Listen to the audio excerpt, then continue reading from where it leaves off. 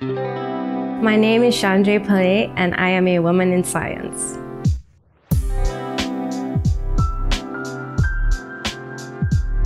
I grew up in a small town located in the south coast of KwaZulu-Natal called Umzinto. My earliest memory of why I love science, my dad was a dye house technician, and so he would bring home these little pH strips to do his work at home as well and I would steal them and dip them into any liquid I could find just to see the color change.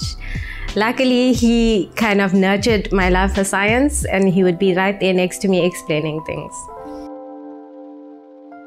I did my undergrad at the University of KwaZulu-Natal, my honors and my masters all in biochemistry.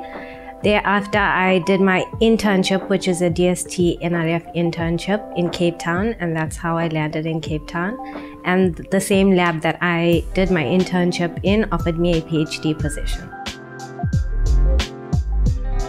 My dream has always been to do research on infectious diseases and specifically tuberculosis, which is near and dear to South Africans because it is a huge problem. And even with the current treatment, we are facing drug resistance and therefore treatment doesn't work. And so, what my research focuses on is actually helping the immune system by targeting certain factors within our immune system as a way to treat tuberculosis. And therefore, we avoid the whole problem of drug resistance her inspirational story is really that she actually wants to help many other people as well. It's almost like a glue that keeps the entire team spirit together. Within the South African context, TB research is highly relevant. TB is really burdening this country and is the second biggest uh, killer um, worldwide with more than 4,000 people dying every single day of TB within the context of South Africa, it's a very important field to identify new drugs because all of the major drugs for anti-TB have been developed more than 50 years ago. So there's certainly lack on understanding on the host immunity to tuberculosis. So the inspirational story for this is really that um, that, that, she's very dedicated to the research program and uh, she will become an excellent leader in future.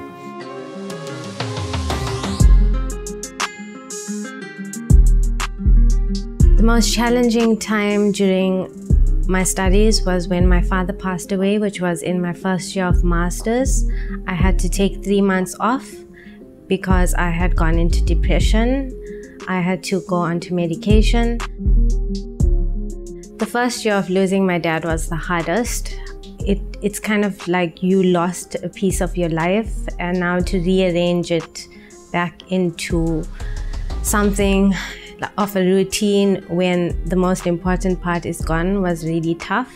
Also, the whole getting into science thing, I had that support from my dad, and I felt like it was tough when your biggest cheerleader has gone. But in the end, I remembered him and I fought for the degree in his memory. I'm graduating with my PhD in clinical sciences and immunology. And looking back, I see that it has taken a lot. The sleepless nights, the sleeping in the office, just to make sure that, like, you know, you were on time for your experiments, that you could finish in time, the amount of work we had to do. It's huge sacrifices when it comes to family and friends and even personal relationships. I don't get to see my family that often. I'm not there for birthdays or weddings. But at the end of it all, I would say it was worth it. And now I can have the life that I want.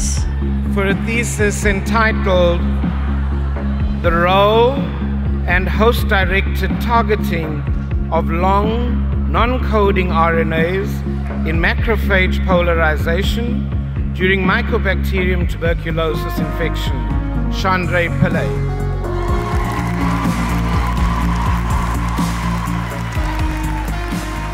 My advice to students that are currently feeling troubled or are going through challenges it's okay to take your time. You don't have to finish when they say you have to finish.